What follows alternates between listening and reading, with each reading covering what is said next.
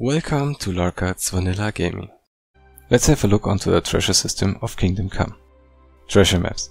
In-game you will be guided to treasure chests by maps, like this one. But the best is, you don't need the treasure maps. The chests are there and don't need to be activated by acquiring the maps. So you could find them also by accident.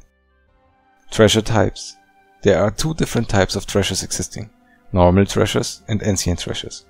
The difference is that you'll find treasure maps in-game, while ancient maps are only available via DLC, and if installed, the maps will be automatically in your inventory.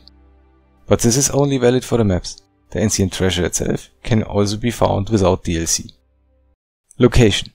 In most cases the treasures are connected to landmarks, like graves, gardens and so on. So they are easier to find while running or riding through forests and grasslands. Required equipment. Depending on the treasure you also need a spade or lockpicks, as the items are either buried or locked in chests. In addition, I would recommend to also take a torch for caves and tunnels with you. I hope you've enjoyed my video. Have fun with the found items.